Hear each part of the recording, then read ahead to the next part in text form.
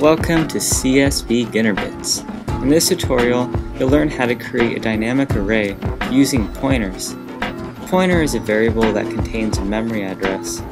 They call them pointers because they can literally point to whatever value is being stored at the address it holds. Before we start making the dynamic array, let's go over how pointers work.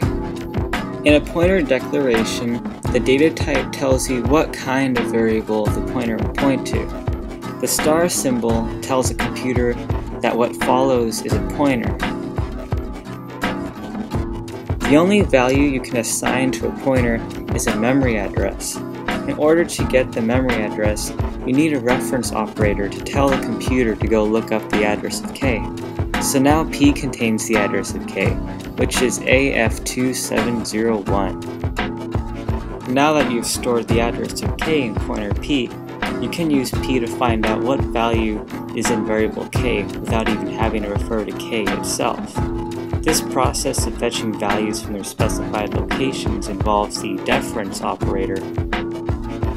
So, in summary, a reference will return the address, and a deference will return the value that lives there.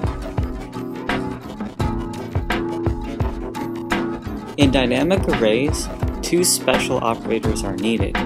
The new operator for declaring variables during runtime, and the delete operator for destroying the variable created during runtime.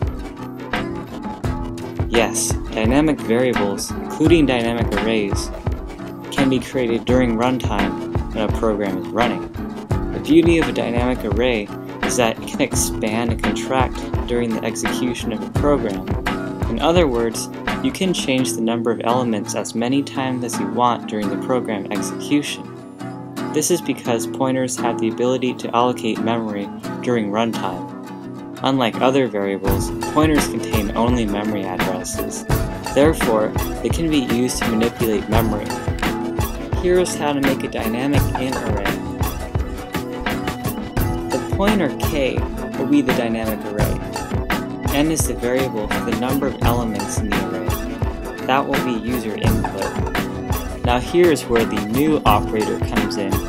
Since the program doesn't initially know how big your array is going to be, you need new to create an array during runtime. This array needs an initial size, so let's make that size 4.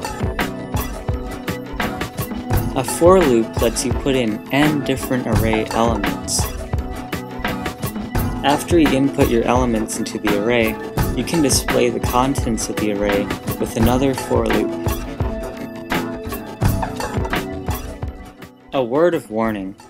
You don't want to forget the delete operator since you could accidentally use up all your memory if it isn't destroyed before you terminate the program. So always conclude the program by deleting the dynamic variables you create.